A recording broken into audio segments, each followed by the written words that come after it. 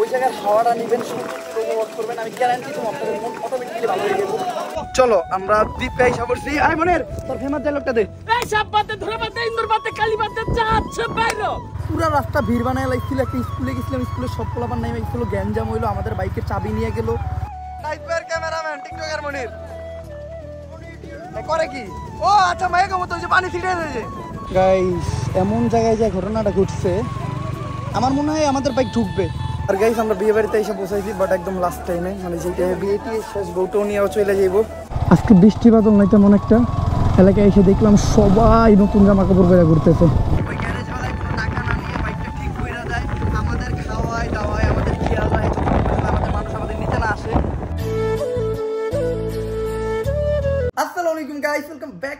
Episode of my daily blog আশা করি সবাই ভালো আছেন। আর আজকে আমি আমার ব্লগ স্টার্ট করতেছি টাঙ্গাইল থেকে।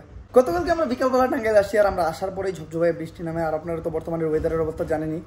ঈদের আগের দিন থেকে শুরু হয়েছে, ঈদের দিন সহ আজকে পর্যন্ত বৃষ্টি হইতে আছে। বাট আজকে আলহামদুলিল্লাহ আকাশের অবস্থা খুবই সুন্দর। আর আজকে শুধু বৃষ্টি নাই না, আজকে অনেক বেশি গরমও পড়ছে। টাঙ্গাইলের টেম্পারেচার অনেক হাই আর আমরা সবাই যে ঘরে আছি ভাই, ওই ঘরে একটা ফ্যান আছে। ফ্যান তো ঘুরেই নাই যে ওর দাদা বাড়ির মতো লাস্ট টাইম ওর দাদা বাড়ি না, নানার বাড়ি।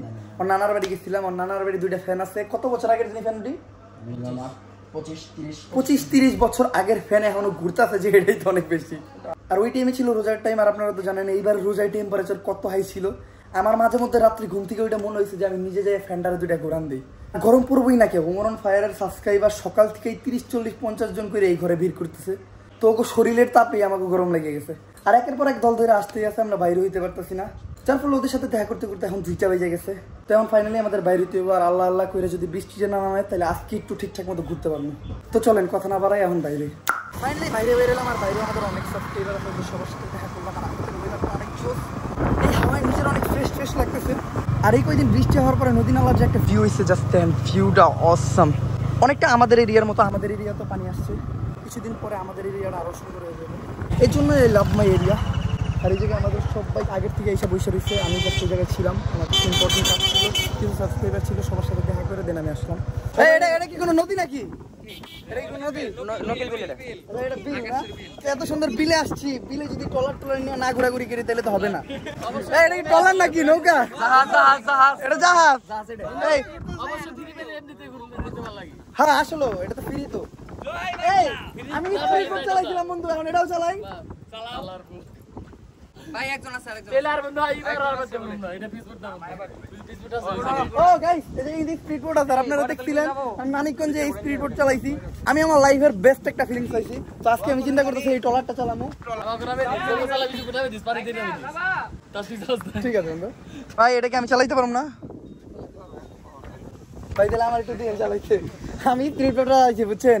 আমি একটু টলারও চালাবো আমার লাইফে খুব শখ। আমার লাইফে শখ হলে আমি সব চালাবো রিক্সা ভ্যান গাড়ি, এগুলা সবই চালাইছি। এখন টলার বাকি আছে, লঞ্চ বাকি আছে, হেলিকপ্টার বাকি আছে, প্লেন বাকি আছে। এই কোনো পাই, আমি আমি আমি কাটছে। বোরিং কাটছে। বাট এখন আমার অনেক ফ্রেশ লাগতেছে। I just enjoy the moment নদীর মাঝখানে একটা সুন্দর বাতাস। যত মন খারাপ আছিল পুরাটাই ক্লিন হয়ে গেছে। আগে আপনার যদি মন খারাপ থাকে আপনি নদীর পাড়ে বা সমুদ্রের পাড়ে যাবেন ওই জায়গার হাওয়াটা নেবেন সূর্য উপভোগ করবেন। আমি গ্যারান্টি তুমি আপনাদের মন অটোমেটিক্যালি ভালো হয়ে যাব। এই যে হেপলা ভিডিও করতেছে। সবাই সবার মতো ভিউটা এনজয় করতেছে। আসলে এই জায়গার ভিউটা অনেক চোখ। তো সবার মতো আমিও ভিউটা এনজয় করতে চাই তেমন আর কথা বলব না সবার মতো আমিও ভিউটা এনজয় করতে চাই আর আমাকে নাইট ভাইয়ের কাম দেখেন নাইট ভাই আপনি কি মাইয়াকে মতো ভিডিও করতেছেন? এই যে ভাই, আপনি কি মাইয়াকে মতো ভিডিও করতেছেন? এই নাইট ভাই দে ভালো দে। নাইট ভাইয়ের ক্যামেরাম্যান টিকটকার মনির। করে কি? ও আচ্ছা মাইয়াকে মতো ওই যে পানি ছিটে দিয়েছে। আমারটা ফোরটিন প্রো ম্যাক্স এত সহজে বিকবো না ওয়াটার প্রুফ গাইস আমি এখন টাইটানিকে নায়ক হয়ে যাব।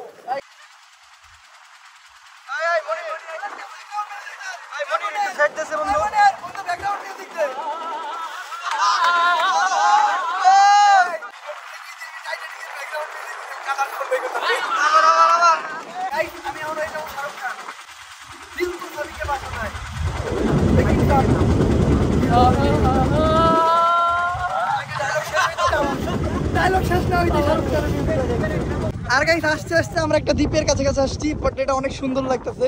পুরো বিলের মাঝখানে একটুখানি একটা জায়গা আর সুন্দর একটা গাছ। ভাই জায়গায় যাইতে পারলে অনেক ভালো লাগতো। আমার লাইফে অনেক শখ ছিল, আমি সেন্ট মার্টিন আমি যখন ঠিকঠাক করলাম যে আমি কক্সবাজার যাব কক্সবাজার যাব, তখনই ঘূর্ণিঝড় কি জানি এলো না কি জানি? মুখাই হ্যাঁ পুরো এলোমেলো করে দিল সব। আমি আর সেন্ট মার্টিনও যেতে পারতাম না। হয়তো আমি এই তো সেন্ট মার্টিন থাকতাম বাট গাইস আমার ইচ্ছাটা পূরণ হয়ে গেল আমি ছোট আমরা যদি এই বোটের সবাই যে ওই জায়গায় ভরপুর হয়ে যাব। চলো আমরা দ্বীপ সাবরছি মনের তোর ফেমাস ডায়লগটা দে। এই সাপ বাদে ধরে বাদে ইন্দুর বাদে কালি বাদে যাচ্ছে বাইরো। বাইরো বাইরো বাইরো। তাড়াতাড়ি বাইরো। গাইস মনির ছোট কালে বাইদা আসাল। এই দেখি রে বন্ধু? আর বাইদা না? যাবে কই? খালে বিলে মাছ মুখ ও মাছ মুখ যদি এই ওই টাইমে যদি সাপ সুপ বাইরে তো এলাকা ওইটা শিখছিল খালে মাছ ধরে। তোর বাড়ি তো খালে আর গাইস আমরা একটা মজার বিষয় শেয়ার করি। আমি বাংলাদেশের যে ইউটিউবারের বাসায় যাই তাদের বাড়িটা ইউটিউবের টাকা দিয়ে বানানো লাইক এক কোটি কারোটা পঞ্চাশ হাজার কারোটা ষাট হাজার কারোটা পঁচাত্তর হাজার। মানে আমি যেই কয়জনের বাসায় গেছি আর কি। বাট আমরা থাকি কই জানেন? মনিরের একটা গোয়াল করে মানে আগে ও গরু ছিল ওর আম্মু ওই গরুগুলার ওই ঘরে রাখতো। একটা সিচুয়েশনে অনেক গরুগুলারা বেচ চালায় না? হ্যাঁ, বিক্রি করে লায়। যার ফলে ওই ঘরটা ফাঁকা হয়ে যায়। এমনও গরুই থাকে। আমি। আর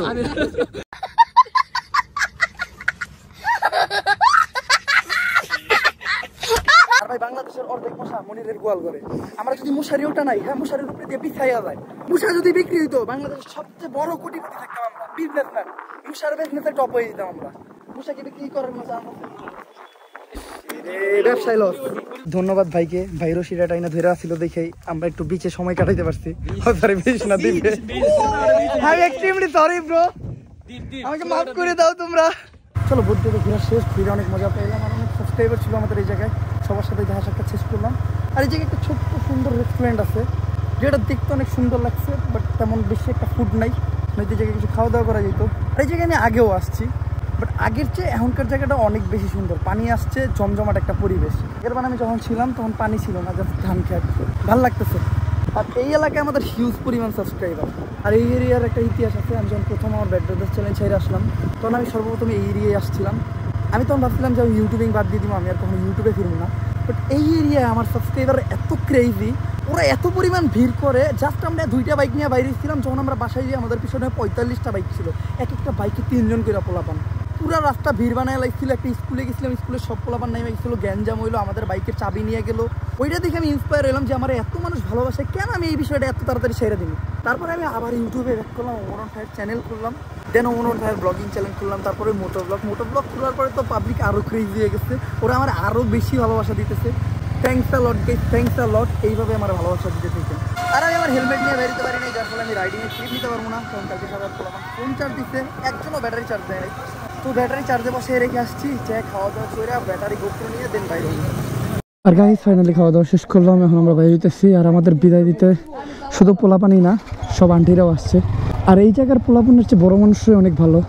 আমরা যখনই আসি, সবাই আমাদের দেখতে আসে। আঙ্কেল, তাহলে আসি, আসসালামু আলাইকুম। আন্টি, সবাই ভালো থাকেন? আসসালামু আলাইকুম। বন্ধু বান্ধব সবাই ভালো থাকো। আল্লাহ হাফেজ। আর আমরা যতদিন এই বাড়িতে থাকি, এই বাড়িটা জমজমাট থাকে। আর এই যে এই বাড়ির সবচেয়ে শয়তান সদস্য। হ্যাঁ খারাপ বন্ধু, জায়গা? এই বাড়ির কিন্তু সবচেয়ে জায়গা সদস্য। ও খালি আমার গাইল্লায়। সবাই আমার ভালোবাসা দেয়, ও খালি আমার গাইল্লায়। এই পাশে আমরা যতদিনই থাকি, ততদিন অনেক ভিড় থাকে এই বাড়িতে। দূর দূরান্ত থেকে মানুষ আসে। অনেক পেইন দেয় এই বাড়ির মানুষদের বাট তারপরে ওনারা কিছু মনে করে না। ওনারা বিষয়টা এনজয় করে। কয় যে কয়জনের বাসায় এরকমভাবে মানুষজন আসে আর কি। তোমরা আসলে আমাদের বাড়িটা ভরা ভরা লাগে। যার ফলে আমরাও বারবার এই জায়গায় আসি। আর এই জায়গায় আমার যে বন্ধুর মা, ওনার হাতের রান্না আবার খুবই সুন্দর। এই জায়গায় আসলে পুরো পেট ভরে ভাত খাওয়া যায়।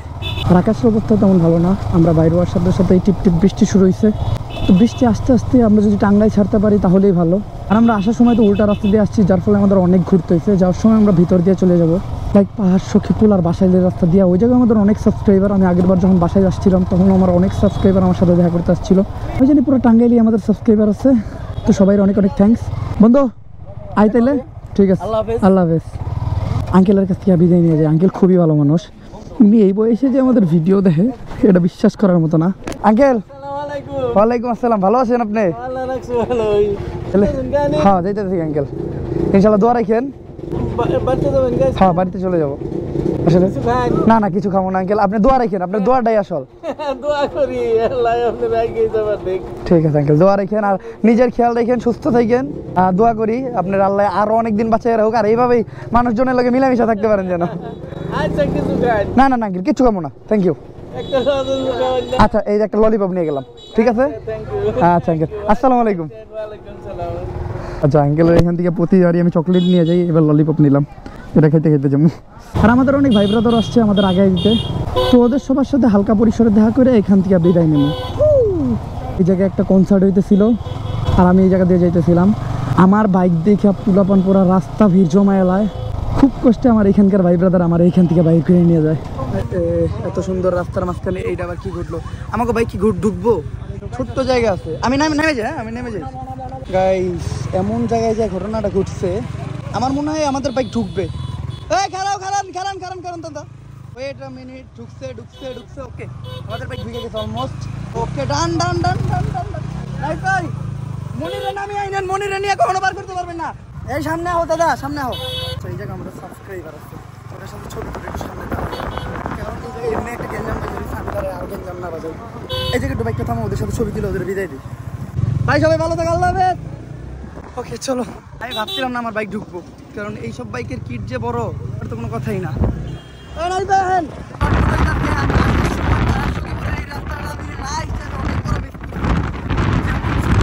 তেমন সুন্দর প্রকৃতি আপনার রাস্তাটা দেখুন কি সুন্দর। মানে এই রাস্তায় যদি আমি তিনশো থেকে বাইক চালাই, তাও আমার মনে হয় বোধহয় একটু বেশি হয় নাই। এই রাস্তাটা তেমন একটা তিস্তা না, আর পুরো একটা পরিষ্কার, দীর্ঘ রাস্তা। ভিউ যদি সুন্দর হয় না, তাহলে বাইক চালাতে আরও বেশি ভালো লাগে। জোস লাগতে হবে, জোস লাগতে হবে। এখন থেকে যখন আমি টাঙ্গাইল আসব, আমি এই পাঁচশো টাকার লাগবে দিয়ে। আর আরেকটা সুবিধা কি জানেন? এই রাস্তায় রিক্স অনেক কম। বড় গাড়ি, ছোট গাড়ি না চলে, রিক্সা, TNT। তুই একটু দেখে চালাইলেই, আর কোনো accident হবে না। বাকিটা আল্লাহ জানে। আর গাইজ এখন আমরা ছিল পাহাড় সখীপুরে।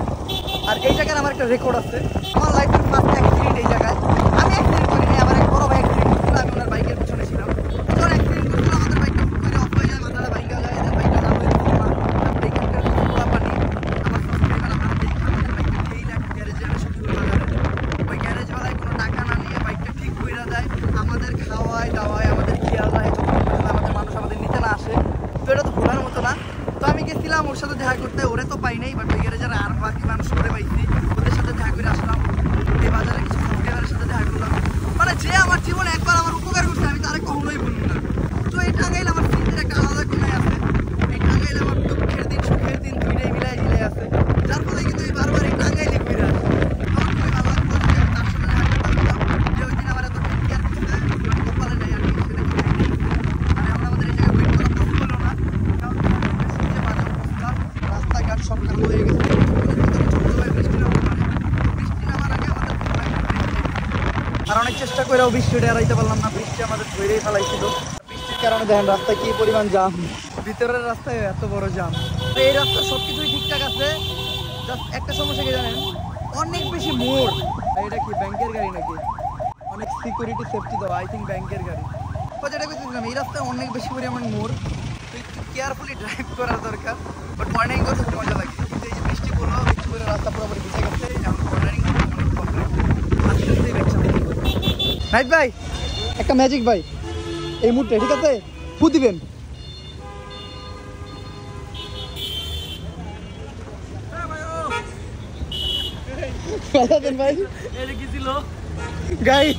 এইভাবে আপনাদের শিখিয়ে দিলাম। কীভাবে মানুষের লোকে মজা নিতে হয়। যাক হাইওয়েতে এসে পড়ছি আর যেহেতু হাইওয়েতে এসে পড়ছি তো এখন আমি রাইড দিব অনেকক্ষণ ধরে বাইক চালাই না বাইক চালানোর একটা ফিলিংস হয়েছিল আর পিছে বইসে আমার অবস্থা একদম শেষ।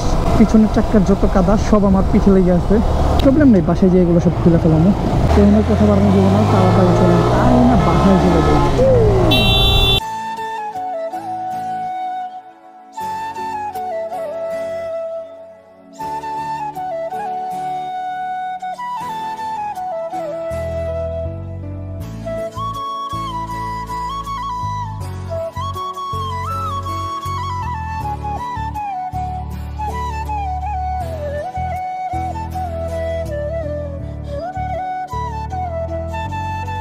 ঠিক বাসায় এসে ফ্রেশ হয়ে বেরোলাম এখন আমি যাব আমার বন্ধুর সাথে। বন্ধুর বোনের বিয়ে বাড়ি না? আসলে ওর বোনের বিয়ে বাড়ি না যেয়ে আমরা গেছিলাম টাঙ্গাইল, আমরা ভাবছিলাম টাঙ্গাইল যে জমায় ঘুরবো কিন্তু বৃষ্টিটা আইসে এমন একটা ফের বাজিয়ে দিচ্ছে আমরা ঘুরতেও পারলাম না, আমাদের পুরো দিনটাই ওয়েস্ট হয়ে গেল। দুইটা দিন জাস্ট আমরা ঘরের ভিতর শুয়েছিলাম। তো যেটা নসিবা ছিল ওইটা তো হবেই। তো এখন আর জায়গায় সময় নষ্ট করুম না। তাড়াতাড়ি চলেন, বিয়ে বাড়ির দিকে আগানো যাক। আর গাইস আমরা বিয়ে বাড়িতে এসে বসাইছি বাট একদম লাস্ট টাইমে মানে যে টাইমে বিয়ে টিয়ে শেষ, বউটাও নিয়েও চলে যাইবো। আর আমরা তো খাওয়া দাওয়া করেই আসছি, যার জন্য খাওয়া দাওয়া করতে আর দাঁড়াইলাম না। আর আমার গোপ্রতে বড় সড়ো আকারে কিছু সমস্যা হয়ে গেছে। গোপ্রোর ব্যাটারিতে শুধু শুধু চার্জ কাটে। লাইক ডিসপ্লে হট অন হয়ে যায়, আমি আগেও শেয়ার করছি। এই প্রবলেমটা বাড়তেই আছে বাড়তেই আছে। আবার রিসেন্টলি ব্যাটারিতে চার্জও নিতেছে না। মানে আমি বুঝি না, সব সমস্যা কেন আমার লাগেই হয়। আমি ঠিকঠাক মতো রাইডিংয়ের ক্লিপ নিতে পারতেছি না, তো আপনারা কিছু মনে করেন না, কালকের ভিতর আমি এই জিনিসটা সলিউশন করার চেষ্টা করব। সব সার্ভিস সেন্টার আর শপিং মল বন্ধ, যার ফলে আমি যখন গোপ্রোর সার্ভিস করতে পাঠাবো, এটাও পসিবল না। তো দেখি কি করা যায়। আর এমন হইতে পারে আমার নিউ একটা গোপ্রো নিতে হইব। কারণ এই গোপ্রোটা অনেক দিন ধরে অনেক প্রবলেম করতেছে। আসলে অ্যাক্সিডেন্ট হওয়ার পরে আরও বেশি প্রবলেম করতেছে। এত জোরে বাড়ি লাগছে, আমি তো ভাবছিলাম গোপ্রো আর চালু হইব না। তারপরে যে চালু হয়ে ভিডিও ক্যাপচার করতে পারতেছে, এটাই তো অনেক। ওকে ভাই, সবাই ভালো থাকো। আল্লাহ হাফেজ আল্লাহ হাফেজ আল্লাহ হাফেজ। এই জায়গায় আমাদের অনেক সাবস্ক্রাইবার মানে আসার পরে সবাই ভিড় করছে। এই জায়গা থেকে একটু তাড়াতাড়ি বাইরে বললাম কারণ আজকে রাত্রে আবার আমাদের হুজুরের বাসায় দাওয়াত আছে। হুজুরের সাথে দেখা করার কথা ছিল আমার ঈদের দিন, কিন্তু ঈদের দিন তো বৃষ্টির মাঝখানে আমি চলে গেলাম নরসিংদী। তো রাতে আস্তে আস্তে অনেক দেরি হয়ে গেছে, যার ফলে দেখা করা হয়নি আর তারপর থেকে তো টানা বৃষ্টি, আর গতকালকে গেলাম টাঙ্গাইল। টাঙ্গাইল থেকে আজকে আসলাম। উনি বলল যে, আজকে রাত্রে যেভাবে হোক আমার পাশে থাকতে হবে। তো ঈদের মাঝখানে একদিনও দেখা হলো না, এই জিনিসটা আমার কাছেও খারাপ লাগছে। তো জন্য আমার কইছিল যে ঈদের ভিতর ট্রিটটা আমি দিতে চাই।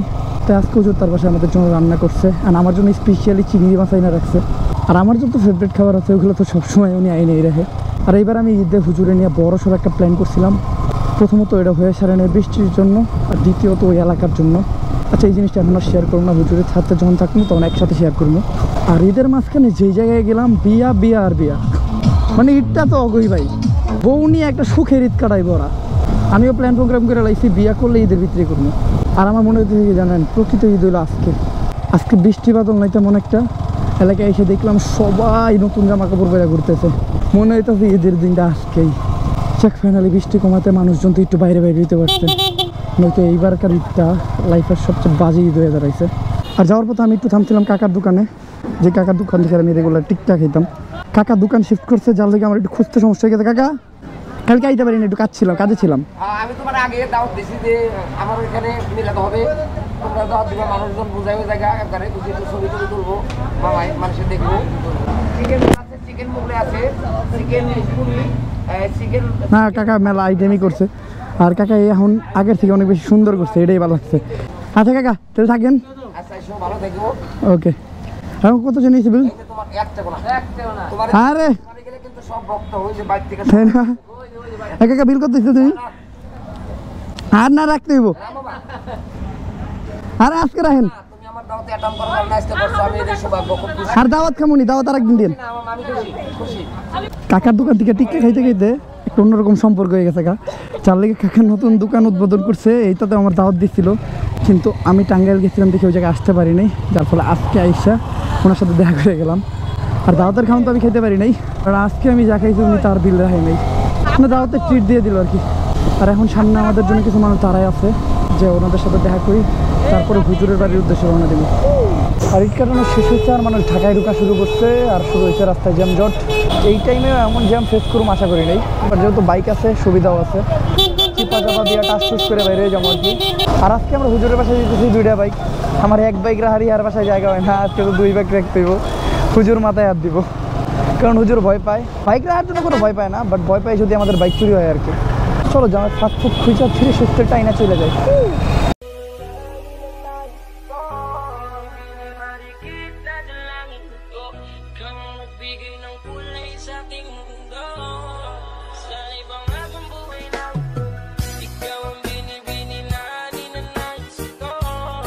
আসসালামু আলাইকুম।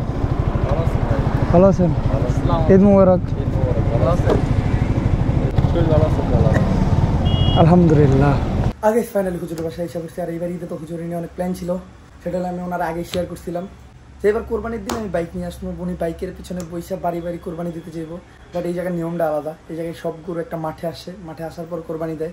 আরেকটা ব্যাপার আছে, উনি যে এলাকাটায় থাকে, ওই এলাকাটায় অনেক চিপা চাপা জায়গায় হুন্ডাই ঢুকে না। আর এই জায়গায় আরেকটা রেকর্ড আছে এই কারণেই এই এলাকার পোলাপান হুন্ডা কিনা না। আবার ঈদের দিন বৃষ্টিও ছিল যার ফলে ঈদের দিন ওনার সাথে এসে একবার দেখাও করতে পারি নাই। তো হুজুর ঈদ মুবারক। সবাই ঈদ মুবারক জানাই দেন। সবাইকে ঈদ মুবারক। তো ওনার বাসায় আসলাম খাওয়া দাওয়া করলাম। আর গাইস আজকের ব্লগটা আমি এই জায়গায় end করুন। যদি ব্লগটা ভালো লাগে ফটোফট লাইক শেয়ার সাবস্ক্রাইব করে দেন। আর এখন আমার রেস্ট নিতে তো স্টিল দেন স্টে সেফ আল্লাহ হাফিজ।